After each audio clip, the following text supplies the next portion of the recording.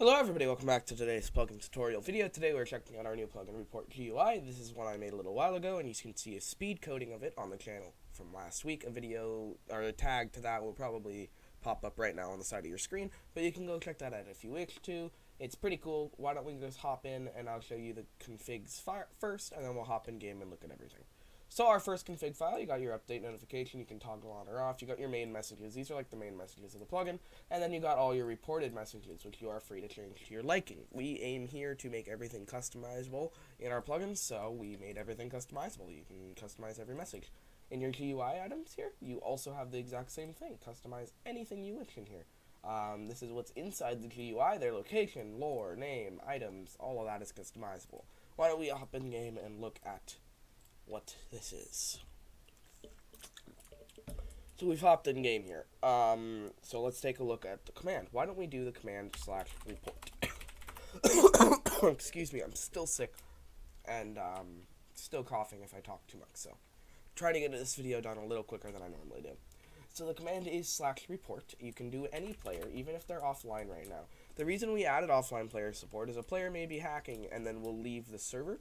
So we went ahead and um, added the offline player support. But let's take the example if I'm going to report myself here. If I report myself, I'm going to have options. You're going to have hacking, chat offense, team trolling, threats. Exactly what we have in our configure file, which is available here. You got all these are available right in the report menu.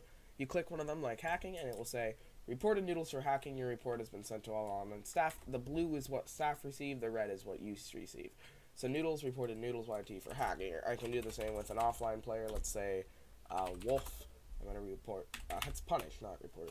Uh, so I can report wolf, and then I can do team trolling, and it will say Noodles reported wolf for team trolling. Quite easy to use. It's um free on Spigot, just like I said. Here we go. Free on Spigot.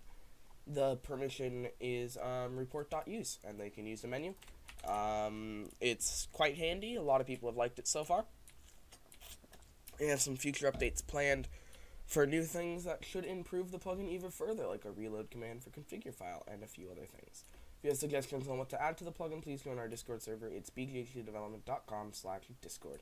If you're enjoying all these free plugin updates this week, make sure to like this video and leave a comment on what you would like to see updated next. we are now on summer, or I am at least.